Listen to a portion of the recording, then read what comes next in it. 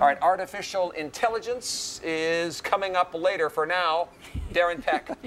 So about a week and a half ago, I got an email. What an intro. I got an email from the Discovery Science Center, and they said, hey, we're doing this event where we're going to invite 7th through 12th graders to sit down in a room with 30 genuine working scientists from around Sacramento. They're going to get to sit down and have dinner with them, pick their brains. They're going to be scientists from every field of science you can Very think cool. of. Scientists were at the tables with the kids. You got That's it. great. Yep, yep. Yeah. And then they said, and just to have fun and to kick things off, we like to do a question and answer with the kids, and we want you to come down and moderate the question and answer. Oh, Take a look at some of the video from last night. It was a huge turnout. You'll see they're holding up place cards right now to kind of show what their answer was, and that's me moderating. I know that guy. asking some of the questions How fun. and some of the answers. So I was so thoroughly impressed not only by how difficult the questions were, but more so by the caliber of scientists who were invited and sat in this room. We've got so many fantastic scientific institutions at our beck and call here in Northern California. Intel is an example of one, and I snuck over to a table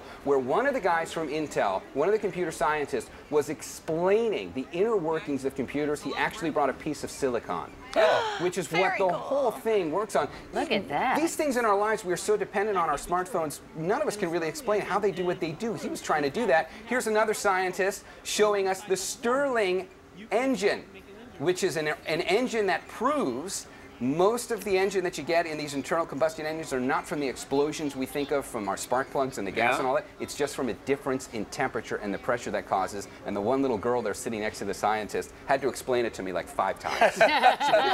Stay on, the, stay on the video for a second, guys, because I want to read you one of the example questions. Question number Oh, no. two was I'm ready. Which is a cell in the human body without DNA? Is it A, platelet, B, neuron, C, an osteocyte, or a D, an epithelial? I had to ask the kids if I even pronounced that correctly. A neuron. A platelet. Platelet, you got it. Oh. How'd you know that? I, I just like A. How do you know stuff? A is one of my favorite A letters. goes for A. I, I always go with a vowel when you give me a choice. Oh, hey, I hate to interrupt. We got to go to the president. Uh, President Obama making a statement this